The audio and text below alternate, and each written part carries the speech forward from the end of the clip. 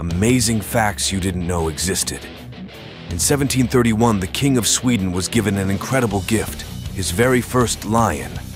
This lion was one of the first in Scandinavia. When the lion died, the king decided to memorialize it, so he sent its skins and the bones to a world-renowned taxidermist to be stuffed and mounted.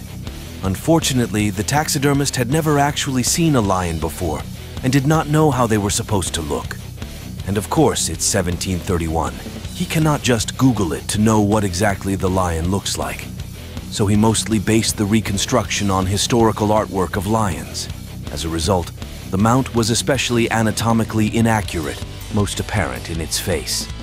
The Lion of Gripsholm Castle is a notable example of poor stuffing and mounting performed by a taxidermy in that year. The lion is considered to have a comically deformed face. Please like and subscribe for more exciting stories.